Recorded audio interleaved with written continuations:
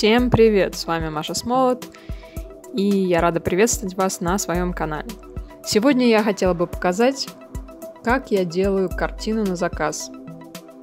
В фотошопе я сделала коллаж из мотоцикла и фона, который, по моему мнению, более подходил. И а, заказчица одобрила, и, собственно, я приступила к началу работы. Немного расскажу о холсте. Значит, это фанера 12-миллиметровая. Обычно можно шлифованная, можно не шлифованная, это не важно. А лен натуральный я использовала, молочного цвета. А, гвозди. В предыдущих видео вы могли уже видеть, как я забиваю их. И нитки обычные швейные, гамовские. Они достаточно прочные и не рвутся, а, и даже немного эластичны.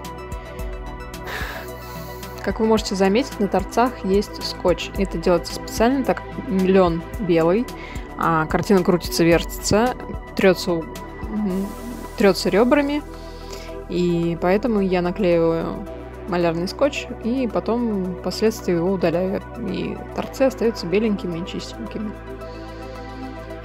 Я не стала снимать, как я забиваю гвозди.